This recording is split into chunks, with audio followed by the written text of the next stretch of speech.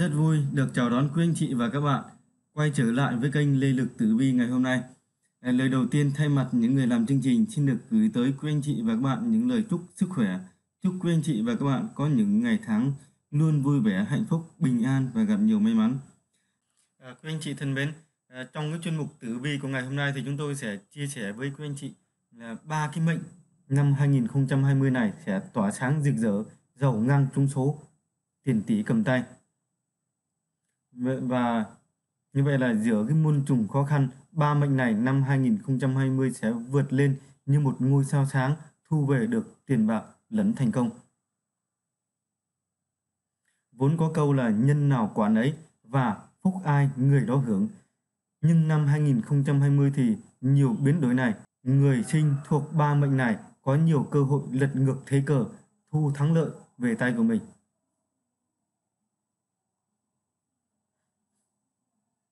Thứ nhất đấy là Bính Thìn năm 1976 mệnh sa trung thổ. Tuổi Bính Thìn có cái sự thông minh dí dỏm và tài ngoại giao đáng nể. Và giữa năm 2020 thì những người sinh năm này có sự đột phá lớn, vượt qua vòng vây của khó khăn để thu về sự thịnh vượng. Những cái tuổi trong năm nay, người tuổi Bính Thìn có thể kết hợp làm ăn là những người tuổi Dậu, Thân, Tý. Người tuổi Thìn và Dậu là cặp bài trùng rất hợp ý nhau. Trong lúc thảo quyết phương pháp để vượt qua khó khăn, người tuổi thìn và thân đều có sự sáng tạo đổi mới nhưng trong quá trình hợp tác nên rõ ràng quyền lợi và cân bằng quan tâm. Sự hài hước và đáng tin cậy ở tuổi Tý sẽ thu hút những người mà bướng bỉnh tuổi thìn. Sự kết hợp này mang lại nhiều may mắn. Sự tương thích của tuổi thìn với tuổi tuất Mão và Thìn đồng tuổi cần có nhiều cái cố gắng và dung hòa hơn nếu muốn kết hợp làm ăn đối tác. Nhàn giữa tuổi Thìn và Tuất dễ phát sinh hiểu lầm và sự nghi ngờ bởi vậy mà muốn hợp tác cần né tránh xung đột và hạ bớt cái tôi cá nhân. Tuổi Mão và Thìn có thể chịu đựng nhau ở một cái mức độ nhất định à, bởi hai bên đều muốn bảo vệ ý kiến của mình đến cùng. Tuổi Thìn đồng tuổi muốn đồng hành cần thêm một cái cầu nối ở giữa để dung hòa bởi cả hai đều độc lập và bướng bỉnh. Năm nay thì tuổi Bính Thìn nên sử dụng màu vàng, bạc, xám và tránh sử dụng màu trắng để thu nạp may mắn cho bản thân. Thứ hai là uh, Tân Mùi 1991 lộ bằng thổ. Người tuổi Tân Mùi khiêm tốn và ôn hòa những người sinh vào năm mùi luôn nghĩ cho người khác. Mặc dù những điều đó mang lại thiệt thòi cho bản thân, người tuổi mùi sẵn sàng hy sinh lợi ích của bản thân vì bạn bè và những người tuổi mùi coi trọng. Những người sinh năm này có nhiều tài lẻ nếu như theo đuổi con đường nghệ thuật hoặc âm nhạc sẽ đạt được nhiều thành công. Những con giáp thích hợp nhất với tuổi mùi đó là ngọ, hợi và mão. Mùi và ngọ là cặp tương thích nhất vì cả hai đều à, giúp bù đắp những cái thiếu sót cho nhau. Còn người tuổi ngọ có thể giúp người tuổi mùi giải quyết vấn đề và cả hai có à, chung nhiều cái suy nghĩ. Người sinh năm mùi cần sự năng động, hoạt bát và đầy ý tưởng của người tuổi mão. Thêm vào đó thì sự ôn hòa cùng cái tính cách dịu dàng, mềm mỏng của tuổi hợi sẽ thu hút người tuổi mùi cùng nhau tạo được nhiều cái sự thành công. Ngược lại thì khi kết hợp với người sinh năm Sửu, à, Tuất, Tý thì cần nhiều nỗ lực. Tuổi Mùi và Sửu đều mang trong mình những cái tư tưởng cố hữu nên bướng bỉnh, à, khó đi đến quan điểm chung trong cái giải quyết vấn đề.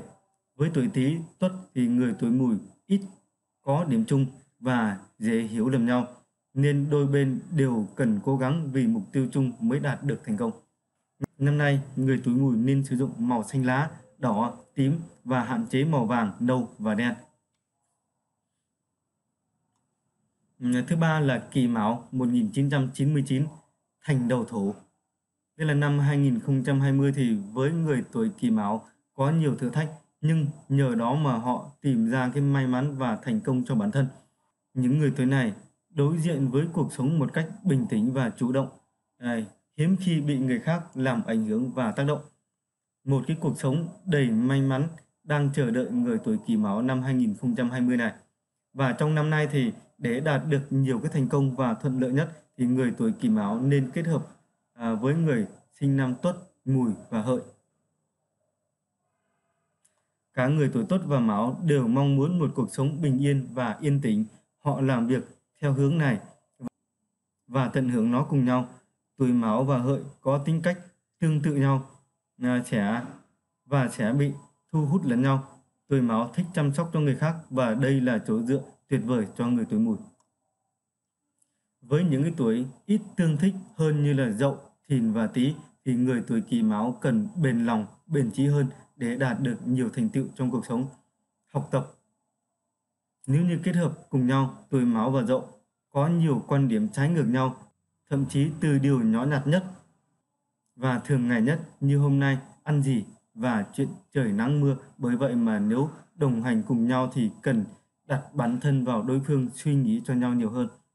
Tuổi thìn, có cái mục tiêu và sở thích tương tự tuổi mão, nhưng có nhiều cái điểm khác biệt trong cái tính cách cần kiên nhẫn khi cạnh tranh, mối quan hệ à, với tuổi tý có nhiều khó khăn hơn chút theo thời gian thì sự khác biệt sẽ xuất hiện và sẽ trở thành rào cản không thể thấu hiểu được năm nay thì để tăng cường may mắn cho bản thân thì người tuổi kỷ mão nên sử dụng nhiều cái màu đỏ hồng tím và hạn chế dùng màu nâu hay là màu xám màu trắng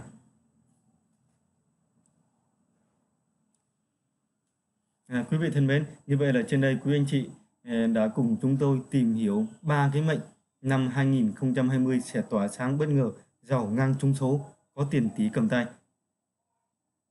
Ừ, chúng ta biết rằng là à, nhân nào quả ấy, phúc ai người đó hưởng. Nhưng mà năm 2020 nhiều biến đổi này thì à, ba cái người sinh vào năm này sẽ có cơ hội lội ngược dòng thu cái thắng lợi về tay của mình. và à, chúng tôi xin được cái chúc mừng ba cái mệnh này và chúc cho các bạn trong năm nay sẽ thu hoạch được à, sẽ thu hoạch được nhiều thắng lợi và xin được cảm ơn quý anh chị đã theo dõi video của chúng tôi. Nếu có bất kỳ băn khoăn hay là thắc mắc gì thì các bạn hãy ghi rõ rồi để ý lại lời bình luận bên dưới của video và ban biên tập sẽ phản hồi lại các bạn trong cái thời gian sớm nhất. Và nếu các bạn là những người lần đầu tiên đến với kênh Lê Lực Tử Vi hoặc là những ai còn chưa đăng ký kênh thì hãy hoan hỉ đăng ký kênh để ủng hộ ban biên tập của chương trình. Và sau đó hãy nhấn vào tín hiệu chuông ở phía bên dưới để không bỏ lỡ những cái thông tin mới nhất khi có video mới nhất và hay nhất từ ban biên tập và chúc quý anh chị và các bạn có những ngày tháng luôn vui vẻ an bình an và gặp nhiều may mắn. Xin chào tạm biệt và hẹn gặp lại các bạn trong những nội dung tiếp theo của chúng tôi.